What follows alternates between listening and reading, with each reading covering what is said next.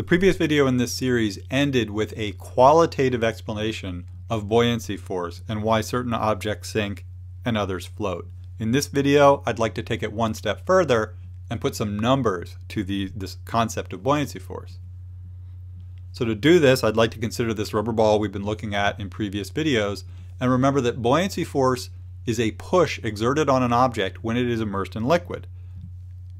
And the more of an object that is immersed in the liquid, the greater the force. So from this, I'd like to ask a question, which is, how do we estimate the maximum buoyancy force that can be exerted on an object? So when is buoyancy force greatest? Answer to this question comes from this idea that the more of the object that is put in the water, the greater the force. So what stems from that is the, is the fact that buoyancy force is greatest when the object is fully submerged. Once it's completely underwater, you have maximum buoyancy force, and buoyancy force does not increase. So this points to what is important when determining buoyancy force, and it is volume. Specifically, buoyancy force depends upon how much water an object displaces when fully submerged.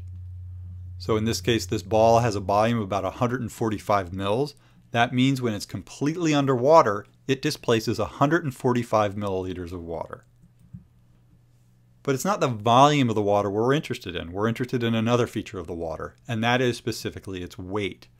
So to, to compare the weight of an object with the buoyancy force, we need to know the mass of the object to calculate weight, but we need to know the volume of the object to calculate the volume of water displaced, and it is the weight of that water that determines the buoyancy force.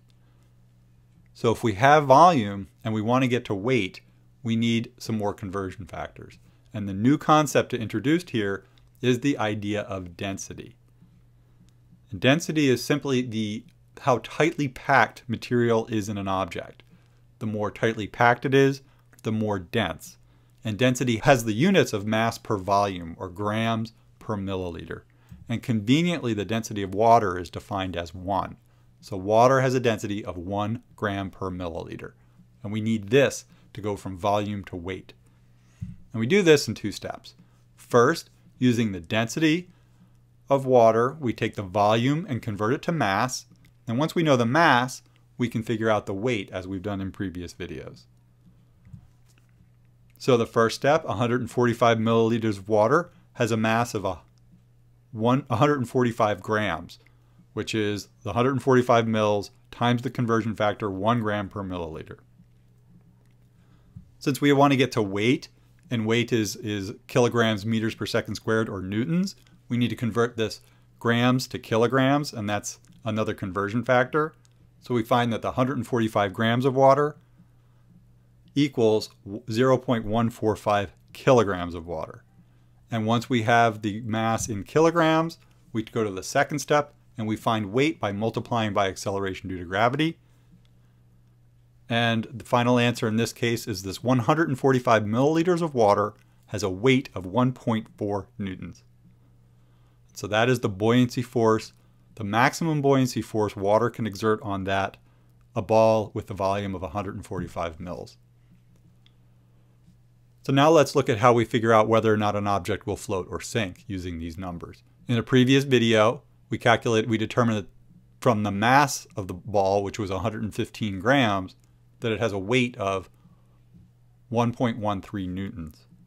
In the previous slide, we calculated it has a volume of 145 mils, which means when submerged in water, water exerts a buoyancy force of 1.4 newtons on the ball.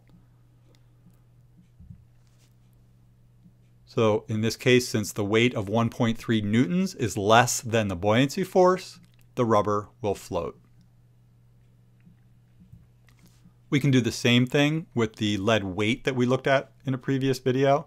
In a previous video, we found out that the lead had a mass of 1.81 kilograms, giving it a weight of 17.7 newtons.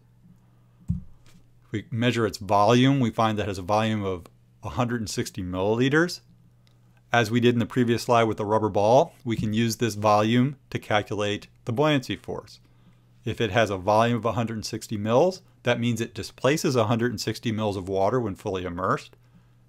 That 160 mils of water has a density of 1, therefore a mass of 160 grams, or 0.16 kilograms.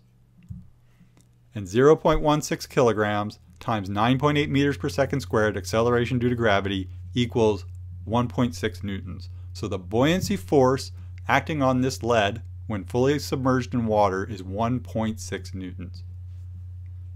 Now, as we did with the rubber ball, we can compare the buoyancy, the buoyancy force with the weight of the lead. The weight in this case is much greater than the buoyancy force, which means the lead will sink.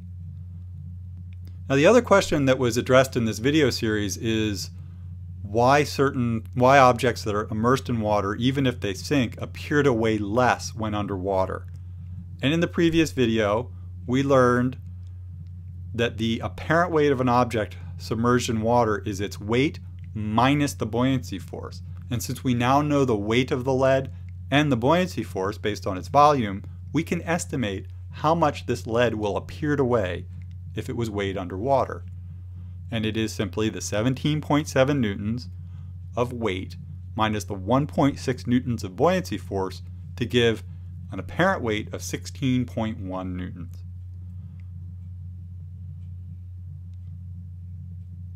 So that's a demonstration of how to calculate, how to quantify buoyancy force and estimates of whether an object will float or sink. But I want to look at it one other way before I wrap this up and to make a more direct link between buoyancy and density.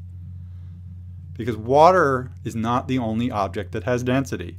Both the rubber ball and the lead weight have a density, and since we know both the mass and the volume of both objects, we can calculate their density. So the rubber ball has a mass of 115 grams, a volume of 145 mils. If we divide 115 by 145, we get 0.79. So the rubber ball has a density of 0.79 grams per milliliter. Notice this density is less than 1, which is the density of water. So without doing all the calculations we did in the previous page, we can see that since the rubber ball has a density less than that of water, it should float. The lead weight, on the other hand, has a mass of 1,814 grams a volume of 160 milliliters, which gives it a density of 11.3 grams per milliliter. Since 11.1, 11.3 is much greater than 1, the lead sinks because it is more dense than water. Which gives us, brings us this observation, which is objects with density that are less than the density of water, which is 1 gram per mil, float. Objects with densities greater than 1 gram per milliliter sink when placed in water.